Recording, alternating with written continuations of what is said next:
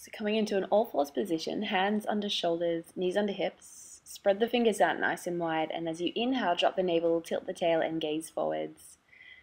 And as you exhale, round out through the spine, chin to throat, tail tucks under, do it nice and slowly.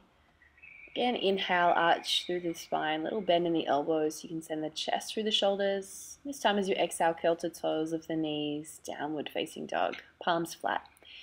Inhale, uh, lift your right leg up and back behind you so your hips are square. Exhale, bend the right knee and roll the right hip open, spreading through the toes of the right foot. And as you exhale, step the right foot gently through between the hands. Try not to make a sound, little challenge, and ease your hips down.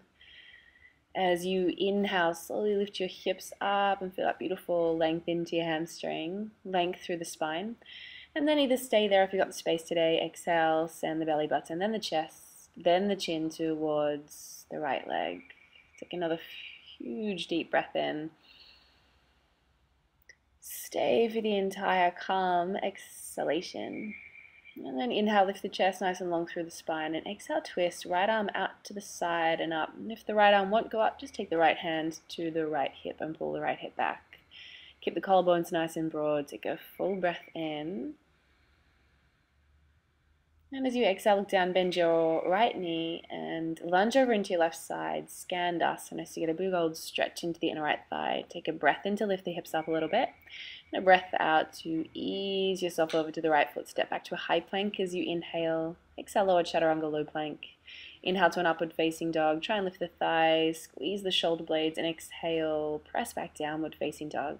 Let's go second side. Inhale the left leg slowly up and back like you're moving through honey. Exhale, bend the left knee and roll the left hip over into the sky. Spread the toes. On an exhalation, really slowly drop that left foot through between the hands. Ease the hips down, look forwards. Make it feel good for the hips. As you inhale, lift your hips up. Let's bring some length into that left hammy. And again, stay there. exhale, ease forwards over the left hamstring. A few breaths.